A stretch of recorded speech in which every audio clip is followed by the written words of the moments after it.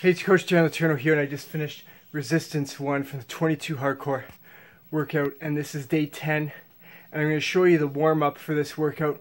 Warm-up's only about a minute, so they also have the cold start in there, which is about 10 minutes, so you can get warmed up if you're really cold, if you just got up, you haven't had a chance to move around, and you don't want to pull anything. I suggest doing the cold start first.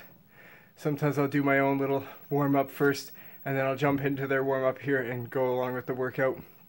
So these are a couple of the ones just to get you moving. Those are running in place, jumping jacks, and then another good shoulder stretch that I usually like to do with my own warm up as well. So I'll show you that there. If you want to try out the 22 minute Hard Corps workout, you could try it out below. I'll put a link below where you can try out the cardio one from the program, 30 days free with on demand. I'll put a link below where you can get the program as well. Don't forget to like, comment, share, and subscribe, guys. Have a great day.